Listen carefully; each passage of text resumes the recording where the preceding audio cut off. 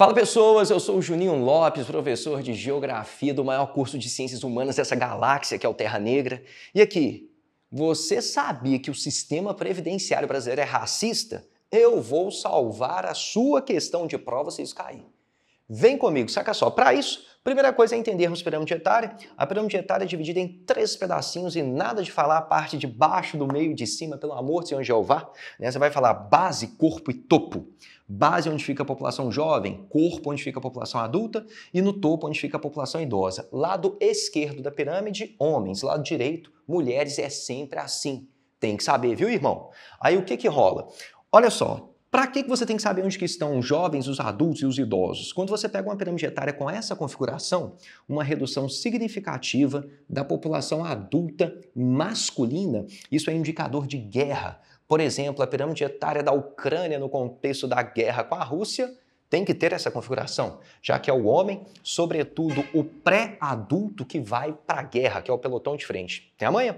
Outra coisa importantíssima, lá no topo, do lado feminino, lado feminino, lado direito, não é isso? Nós temos o maior número de mulheres. Por quê? Porque a expectativa de vida feminina é maior. Portanto, a pirâmide etária é um gráfico de organização da população por idade, pau, pau, pau, e por gênero, masculino e feminino. Beleza? Base larga. Se a base está larga, natalidade está elevada.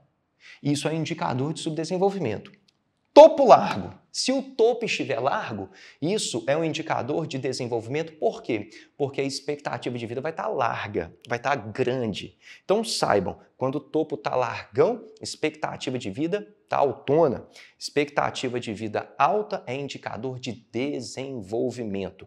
Quanto mais largo o topo, mais desenvolvido é a região ou mais desenvolvida é a região ou o país em questão. Agora eu te falei o seguinte, que o sistema previdenciário brasileiro é racista, e saca só, Segundo o IBGE, a maior parte da população do Brasil se autodefine como sendo preta e parda. São dados do IBGE, não são dados do Juninho, beleza? É, e outra coisa, gente, tem que ser autodefinição. Não é um recenseador que vai olhar para você e falar assim: olha, é branco. Não, não é isso. A pessoa se autodefine. Eles perguntam: e aí, você é branco, preto ou pardo? Aí eles vão marcando o questionário de acordo com a resposta dada pela pessoa que foi recenseada. Beleza? Então a maior parte da população do Brasil se autodefine como sendo preta e parda. No entanto, galera, a expectativa de vida da população preta e parda é menor do que a da população branca. E por que, que é menor? Aí você tem que relacionar com aspectos históricos e sociais. Por exemplo, na nossa sociedade, boa parte do trabalho braçal é destinada para a população preta e parda. Outra coisa, em função de um processo histórico aí que envolve questões racistas, nós temos uma boa parte dessa população preta e parda ocupando profissões de subemprego, menor remuneração, maior desgaste físico, consequentemente menos acesso à saúde também devido à menor remuneração, e daí a expectativa de vida acaba sendo menor.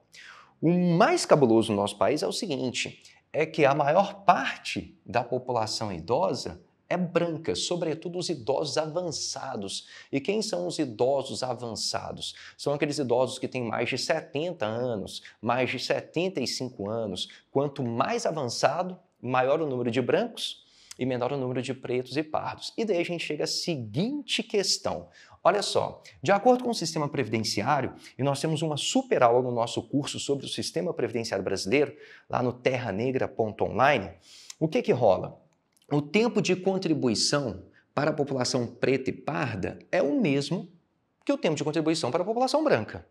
Hoje, nós temos a seguinte questão de contribuição: o homem contribui em média 35 anos, e a mulher contribui em média 30 anos. Nós sabemos que existem variações de acordo com as profissões. Eu estou te dando uma ideia geral. E quando eu falo contribuição, quer dizer que nós temos o pagamento de impostos. São aqueles trabalhadores que são chamados de formais que pagam devidamente seus impostos. No caso do homem, por 35 anos, no caso da mulher, por 30 anos. Lembrando que isso é mais ou menos, existem umas variações aí, mas se você dominar estes números, já está super ok. O tempo de contribuição é o mesmo, seja pessoa branca, preta ou parda. E a idade mínima para aposentadoria também é a mesma. No caso do homem, 65 anos, no caso da mulher, 62 anos, esses números sofrem alterações a cada ano. Nós temos um aumento aí de seis meses, basicamente, a cada ano na idade mínima do homem e na idade mínima da mulher. Mas aqui, o que, que você tem que dominar? Não importa se branco, preto ou pardo, a idade mínima é a mesma, 65 para um homem, 62 anos para a mulher. E daí a gente chega à seguinte questão. Vamos pensar, se o tempo de contribuição é o mesmo, se a idade mínima é a mesma, mas a expectativa de vida é diferente, o sistema é de certa forma injusto. Por quê? Porque o branco, vamos pegar o homem branco, trabalhou por 35 anos, atingiu os 65 anos, ele vai se aposentar. Só que a expectativa de vida dele é maior do que a do homem preto, que também trabalhou por 35 anos, atingiu os 65 anos de idade e vai se aposentar, porém vai viver menos. Ou seja, o branco utiliza o sistema previdenciário, goza do sistema previdenciário, usufrui do sistema previdenciário mais tempo do que a população preta e parda. Né? E eu falei do homem, mas é claro que isso também vale para a mulher. Né? Então, contribuem pelo mesmo tempo, aposentam com a mesma idade mínima, no entanto, usufruem o sistema de uma forma diferente. A população branca utiliza o sistema por mais tempo. E digo mais, esse negócio é muito doido, coloquei aqui ó, que a expectativa de vida do branco é maior, né, e consequentemente maior utilização do benefício previdenciário. A gente falou aqui de diferenças raciais, mas poderíamos tocar também no assunto de diferenças regionais. Como assim de diferenças regionais? Observação: além das diferenças raciais, nós temos as diferenças regionais. Como assim? Na região sul, a expectativa de vida é maior do que na região nordeste. Sendo assim, o uso fruto do sistema previdenciário no sul acaba sendo maior do que no nordeste. Legal isso, né? Legal de entender, né? Inclusive, tem algumas regiões do Nordeste que a expectativa de vida é muito baixa.